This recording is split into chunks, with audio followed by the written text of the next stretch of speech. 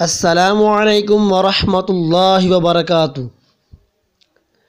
ایک بزرگ فرماتے ہیں کہ میری توبہ کی وجہ یہ ہوئی کہ ایک مرتبہ قحط کے زمانہ میں میں نے ایک غلام کو دیکھا کہ نہایت ہی خوش ہے۔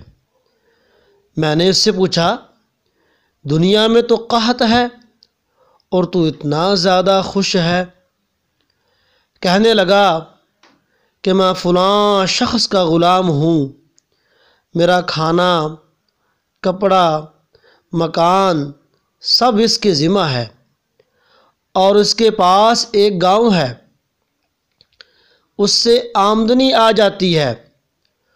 وہ اس میں سے مجھے دونوں وقت کھانے کو دیتا ہے۔ اس لیے میں بالکل بے فکر ہوں۔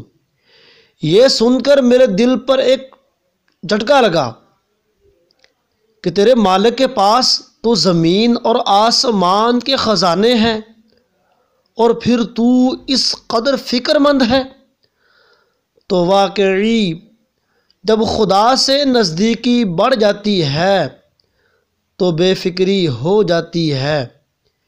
دیکھیے، معمولی سے مالدار کے ساتھ تعلق ہو جانے سے کیسی بے فکری ہو جاتی ہے، تو جو تمام خزانوں کا مالک ہے، اس کے ساتھ تعلق رکھنے سے بے فکری کس طرح نہ ہو۔